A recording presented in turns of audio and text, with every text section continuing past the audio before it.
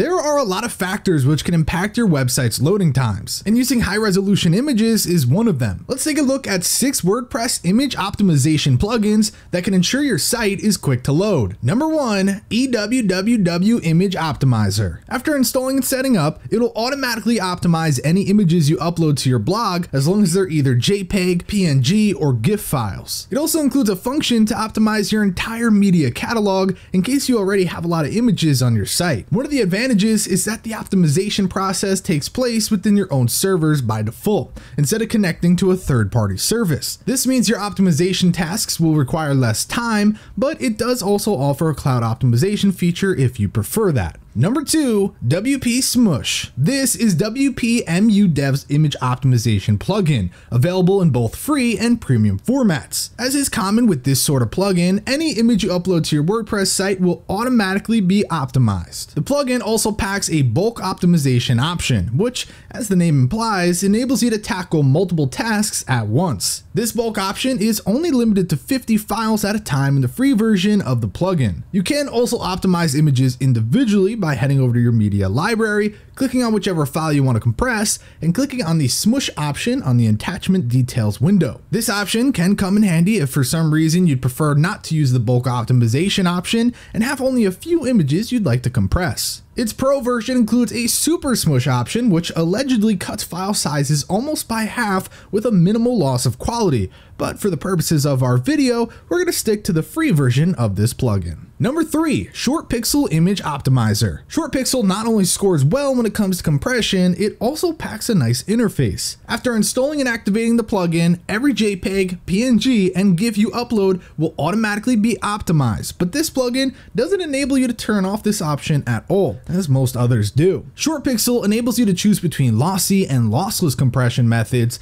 It optimizes all of the image thumbnails created by WordPress. It can establish a maximum resolution for your images, and best best of all, it automatically saves a backup of every image you upload to a new folder. In order to set up the ShortPixel plugin, you'll be prompted to enter an API key during the activation process, which is provided for free by signing up. But you only get 100 image compressions per month, and credits for additional tasks can be purchased separately. Number 4. TinyPNG Compress JPEG and PNG images. This one's a bit more drastic than the other plugins we've mentioned so far because it only employs lossy compression methods, which makes for a large reduction in file sizes while mostly preserving the quality of the images. The plugin doesn't offer many configuration options in its settings page since you can't modify the compression methods it uses. However, you can choose maximum resolutions for your uploaded images, pick exactly what sizes you want to compress, and whether or not to preserve the copyright information of each available file. Despite these limitations, TinyPNG images perform really well when it comes to the optimization process. Number 5. Optimus while Optimus performs admirably when it comes to the actual optimization process,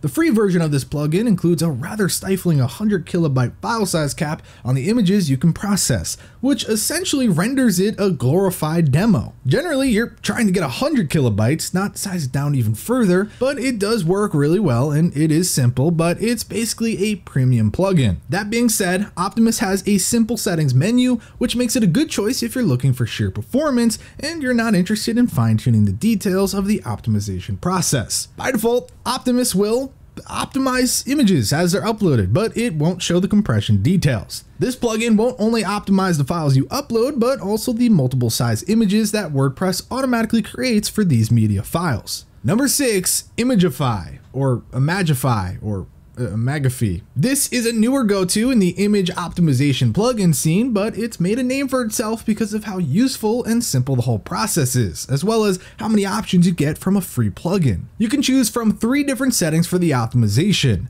normal, aggressive, and ultra. Generally, aggressive is a good spot where you can keep file size down without a noticeable dip in visual quality. As you move into ultra compression, there may be blurring, slight pixelation, color ratio loss, and minor artifacts in the images. You can individually optimize your library image by image, run a bulk optimization, and any images that you upload will be run through whatever default process you set up. And now it's time to put them to the test. So far, we've covered each plugin's individual features as well as their pros and cons. Now it's time to see how they actually fare against each other when it comes to their intended purpose. I'll be using a test done from the original blog post linked in the description. To get the best possible results, lossy image optimization was used when possible. Keep in mind your mileage may vary depending on which particular image you choose to optimize, and these findings should only be viewed as an example of how each plugin performs individually. First up, JPEG optimization. As we can see, the plugins which applied a lossy optimization method obtained roughly similar scores across the board. Due to its slight edge when it comes to the compression percentage, we're going to recommend you go with TinyPNG if you use mostly JPEG files on your site. EWWW comes rather close as well, but remember it has a slightly more complicated setup than some others. And now, PNG optimization.